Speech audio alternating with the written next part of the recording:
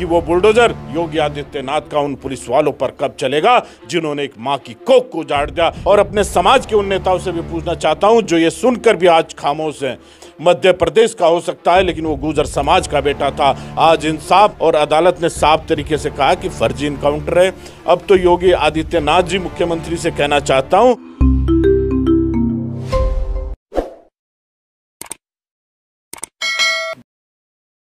नमस्कार, स्वागत है आप सभी का हिंदुस्तान 24 पर और मैं आप सबके साथ विपिन चौधरी।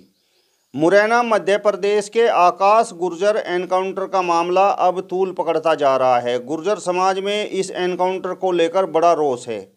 गुर्जर समाज उत्तर प्रदेश की योगी सरकार की कानून व्यवस्था पर लगातार सवाल उठा रहा है। अब आप सोच रहे होंगे कि मामला तो मध्य प्रदेश का है, लेकिन गुर्जर समाज उत्तर प्रदेश की कानून व्यवस्था पर सवाल क्यों उठा रहा है? योगी सरकार पर सवाल क्यों उठा रहा है?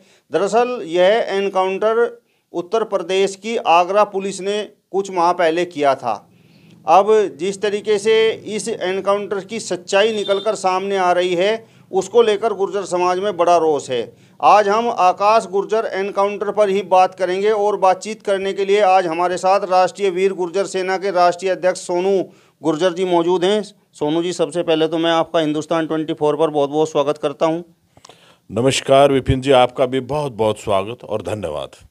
गुर्जर समाज लगातार आकाश गुर्जर एनकाउंटर को लेकर उत्तर प्रदेश पुलिस पर सवाल उठा रहा है। ऐसा क्यों? देखिए विपिन जी हमारे माननीय मुख्यमंत्री योगी आदित्यनाथ जी कहते हैं कि उत्तर प्रदेश की कानून व्यवस्था बहुत अच्छी है। यहाँ अपराधियों के लिए कोई जगह नहीं है। अपराधी होते ही उनका बुलडोजर चल जाता है।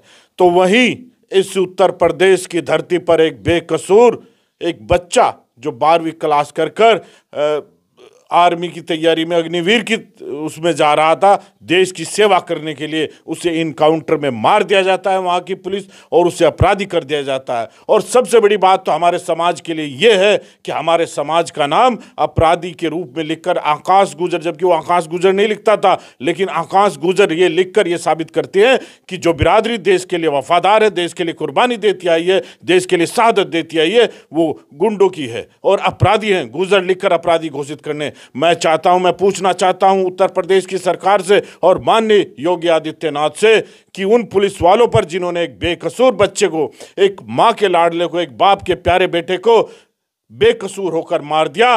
बाबा बुलडोजर वाले कहते हैं, मैं पूछना चाहता हूँ अपनी राष्ट्रीय वीर गुजर सेना का राष्ट्रीय अध्यक्ष होने के नाते कि वो बुलडोजर योगी आदित्यनाथ का उन पुलिस वालों पर कब चलेगा, जिन्होंने एक माँ की कोख को उजाड़ दिया, एक बूढ़े बाप के सहारे को उजाड़ दिया। मैं आपके माध्यम से पूछना चाहता हूँ कि उन उन पर बुलडोजर कब चलेगा, विपिन जी?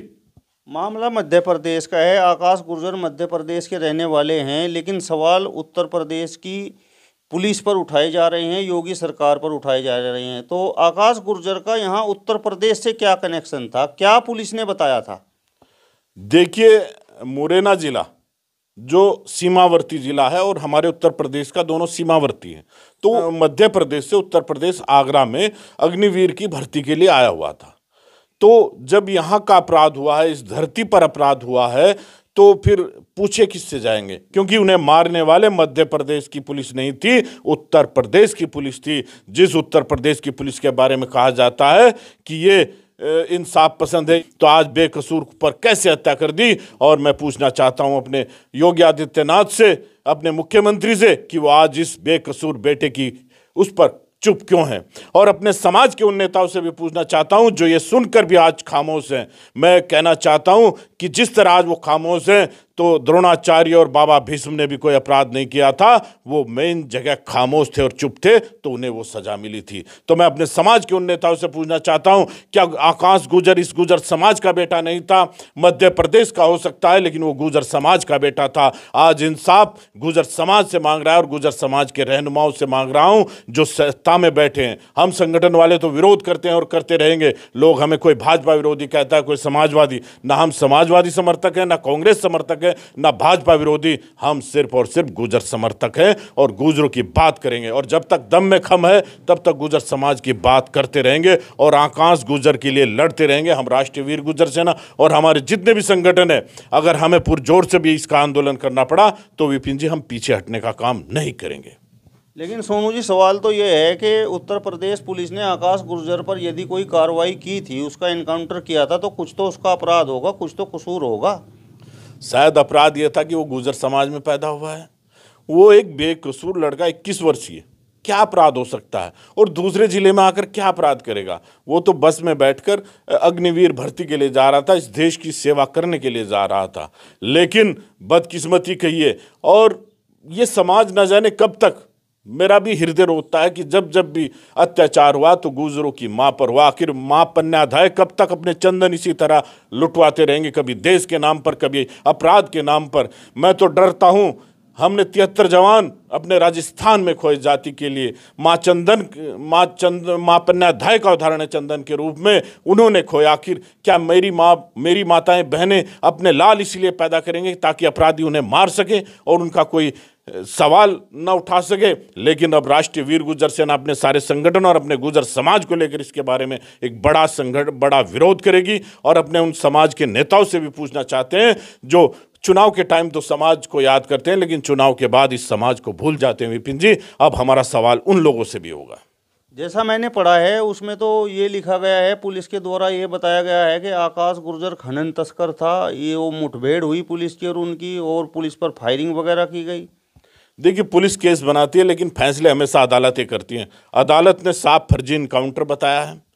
फर्जी इनकाउंटर और जो काम पुलिस को करना चाहिए था एक जिसका लाल मर गया जिस जो माँ अब आँसू की गंगा में बह रही थी, लेकिन वही सड़कों पर निकल कर अपने बेटे के लिए सबूत इकट्ठे किए और अदालत में जाकर दिखाए। मैं अपनी तरफ़ से उस माँ को धन्यवाद देता हूँ, जो माँ अगर वो चाहती तो अपने घर से नहीं निकलती, लेकिन अपने घर से निकली और बेकसूर बच्चे के लिए सबूत इकट्ठे किए और अदालत ने साफ़ तरीके से कहा कि फर्जी इनकाउंटर है। अब तो योगी आदित्यनाथ जी मुख्यमंत्री से कहना चाहता हूँ कि उन अपराधियों पर पुलिस वालों पर कब उनका बुलडोजर चलेगा, ये गुजर समाज देखना चाहता है। आज इंसाफ उनके हाथ में है। क्या ये इन सिर्फ़ बुलडोजर उन पर चलेगा?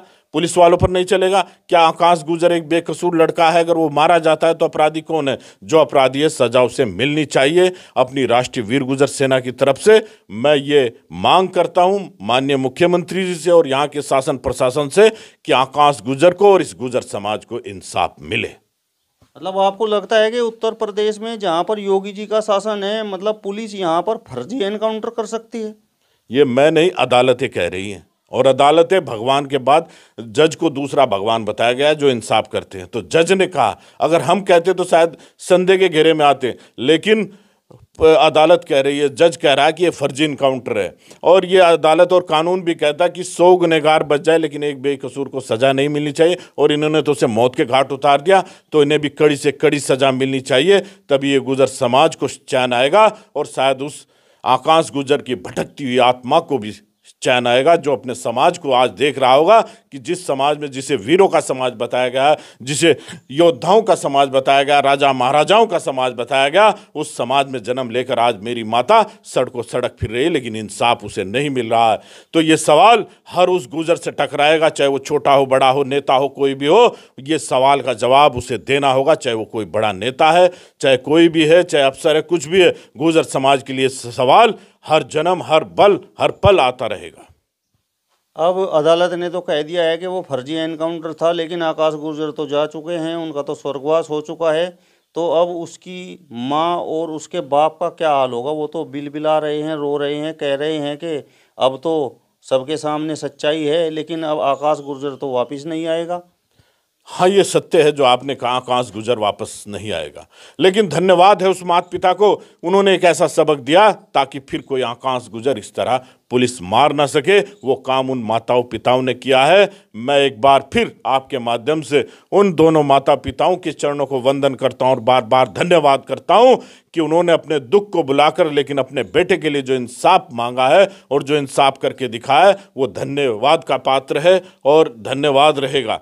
मैं आपके माध्यम से इस लड़ाई में उनके साथ संपूर्ण है। हमारी राष्ट्रीय अध्यक्षा अभी पिछले कुछ महीने पहले मिलकर आई थी ममता भाटी और हम फिर जाकर उनसे मिलेंगे और जो भी कोशिश होगी, राष्ट्रीय वीर गुर्जर सेना उनके साथ कदम से कदम मिलाकर चलेगी।